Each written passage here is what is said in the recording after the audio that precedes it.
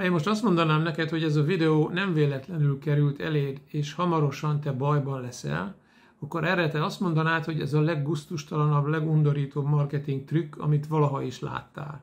Ezért én ezt nem mondom, de elmondom a tapasztalatomat. Nagyon sokan követnek, hála jó Istennek, a TikTokon is, a Facebookon is, nagyon sokan szeretik ezeket a videókat.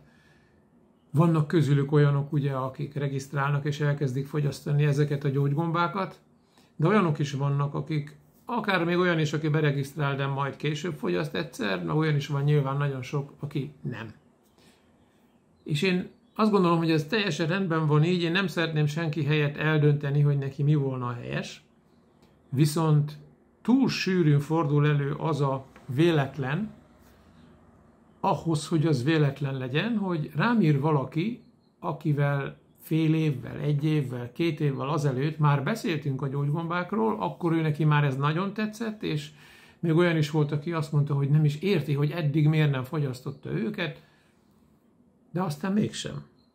És eltelt ez a bizonyos idő, amit mondok, és azzal keres meg, hogy van egy diagnózis, ami valamilyen tumorról szól, itt, ott, ott, és hogy na akkor most mit javaslok. És sajnos van az a dolog, hogy diagnózis egyenlő megadózis. Tehát amikor már valakinek van egy diagnosztizált tumorbetegsége például, akkor nem lehet akkora adagokkal dolgozni, ami elég arra, hogy neki ne legyen ilyenje, tehát egy megelőzésre, és akkor a megadózis az már komoly pénzbe kerül.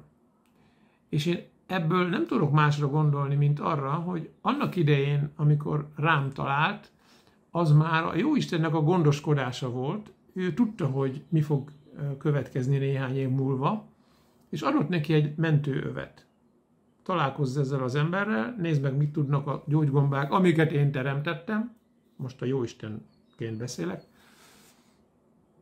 és dönts helyesen. Viszont a döntés mindig ránk hagyja. És ez az ember akkor úgy döntött, hogy, hogy mégsem. Igaz, hogy nagyon fogadkozott, de mégsem. És most meg itt van a diagnózis, hogy nem tért le arról az útról, hanem ment rajta tovább, és elérkezett oda, hogy most már meg a dózisra van szükség.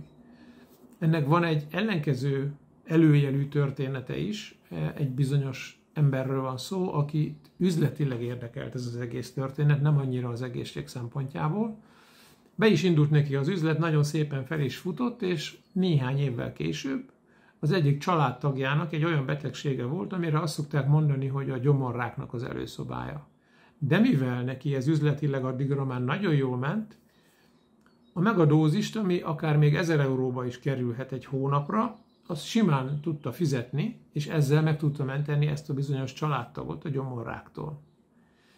Tehát én azt gondolom, hogy nagyon fura dolog ez, és gondold végig azt, hogy vajon tényleg csak véletlen az, hogy te most ezt a videót látod, meg a többi videókat esetleg, vagy lehet, hogy ez egy isteni gondoskodás, hogy teszi azt a lehetséges keresztutat, amin letérhetsz arról az útról, ami egy veszély felé visz téged.